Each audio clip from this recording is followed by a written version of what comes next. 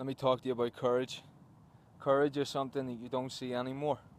When we don't have the, the previous generation's example, we no longer are able to utilize the potential that we have. Courage is doing something that you don't know if you can do it, you don't know if you can make it, you don't know if the journey's okay. That's real courage. The the, the best examples I've seen are, are, the, are genuine, strong, able, and willing lifeguards.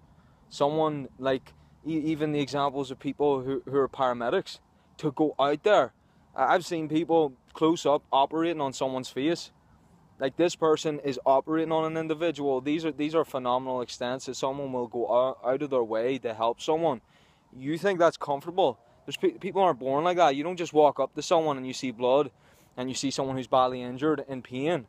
You don't see someone out there that just goes, Well, I'm going to be the helper and fix that person or help that person or make them healthier or I'm going to provide a service here. Those are strong people who have made decisions. Courage in life. Courage in life is the athlete out there that just keeps showing up.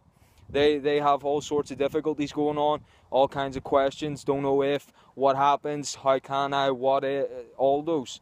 And they continue to show up, they continue to keep progressing, they push themselves even though their exterior circumstances are often abysmal. They keep going, they keep pushing to one day make it. Courage. Courage in life is what you need. People around you might not show it. You might have people going against you. You might be the one the, the one that's just decided to go make it and you have every reason to not go for it. This is real courage in life. And I hope you, you get that that just all out. It, it's it's it's just a new decision, a new path.